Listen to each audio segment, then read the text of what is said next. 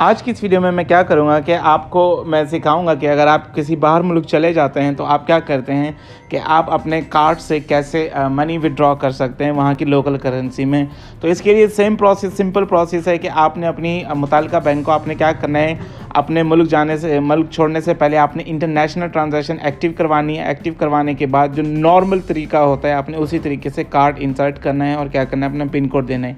लेकिन यहाँ पर मैं आपको थोड़ी सी एक चीज़ बता दूँ कि आपने करना क्या होगा इस दौरान कि कुछ यहाँ पे जैसे बैंकें होती हैं, मैं तो अभी थाईलैंड में हूँ, लेकिन अगर आप दुबई में या कहीं पे भी हैं तो आप क्या करें, आप विड्रॉवल जैसे करने लगते हैं तो आपको स्क्रीन पे दिखा देगा कि करेंसी रेट इतना लग रहा है। तो आप ये देखें, एक या दो, यानी कि कभी भी आप एक ही उससे ना ट्राई करें तो आप क्या करें, दो बैंकों को ट्राई करके देख लें कि एक में कार्ड इंसर्ट करें तो आप उसकी स्क्रीनशॉट ले लें क्योंकि फ़ौरन आएगा और उसके बाद चला जाएगा और आप क्या करें, दूसरे का भी यही करें। तो उससे क्या होगा कि आप इजीली जो ना कुछ थोड़ा बेटर ले लेंगे। क्योंकि जब भी आप ट्रांजैक्शन करते हैं तो वो इंटरनेशनली उसे क्या करता है यू में कन्वर्ट करके फिर उसको पाकिस्तानी वहाँ की लोकल करेंसी में देता है। तो मैंने अभी निकाले हैं ट्वेंटी थाउज़ेंड थाई बात।